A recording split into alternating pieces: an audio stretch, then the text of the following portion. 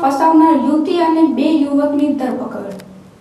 ભુજ શહેરના સંસ્કારનગરમાં આવેલા એમ્પાયર ટાવરમાં રહેતા યુવાનને હની ટ્રેપમાં ફસાવીને રૂપિયા પાંચ લાખની ખંડણી માંગવામાં આવી હતી. જેની ફરિયાદ ભુજ બી ડિવિઝન પોલીસને મળતા પોલીસે ગણતરીના કલાકોમાં જ આરોપી યુવતી ઉપરાંત બે યુવકોની ધરપકડ કરી લીધી હતી. ભુજ બી ડિવિઝન પોલીસ મથકેથી મળતી વિગતો અનુસાર ફરિયાદી નિલેશ હરિશંકરભાઈ રાજગોર રહેવાસી બસો એક એમ્પાયર ટાવર સંસ્કારનગર ભુજ. એ આ મામલે પોલીસ ફરિયાદ નોંધાવી હતી. ફરિયાદમાં નોંધાવ્યા પ્રમાણે ઇમરાન નામનો એક શખ્સ અને અજાણ્યા બે, ત્રણ નંબર પરથી આવેલા ફોન તેમજ અશ્લીલ ફોટોમાં જણાવેલી યુવતી સામે ફરિયાદ નોંધાવાઈ હતી.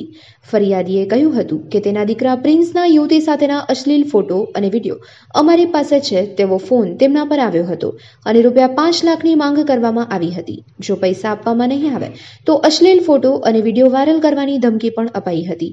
તેમજ દીકરાને જાનથી મારી નાખવાની ધમકીની ફરિયાદ બી ડિવિઝન પોલીસ મથકે નોંધાઈ હતી. ફરિયાદને પગલે ભુજ ડિવિઝન પીઆઈ શ્રી ભરવાડ અને તેમની ટીમે તાબડતોબ તપાસ હાથ ધરી ગણતરીના કલાકોમાં જ યુવતી ઉપરાંત બે યુવકોને ઝડપી પાડ્યા હતા. જેમાં હેમંત રામભાઈ ચાવડા, રહેવાસી દાંતાડા, તાલુકો ખાંભળિયા તેમજ નયન લક્ષ્મણભાઈ ગઢવી રહેવાસી કાઠડા તાલુકો માંડવીની ધરપકડ કરવામાં આવી હતી. ગત બપોરથી પોલીસ મથકે પહોંચેલા મામલામાં પોલીસે કોઈ પણ વિગતો જાહેર કર્યા વિના તપાસ આદરી રાત્રે આરોપીઓની ધરપકડ કરી હતી. કચ્છમાં પણ હવે પ્રેમજાળમાં ફસાવીને ખંડણીની માંગ કરવામાં આવી રહી છે. તો લેભાગુ તત્વો, તમામ નીતિ નિયમો અને સંસ્કારોને નેવે મૂકી ભદ્ર સમાજના યુવકોને નિશાન બનાવી નાણાં ખંખેરતા હોય છે.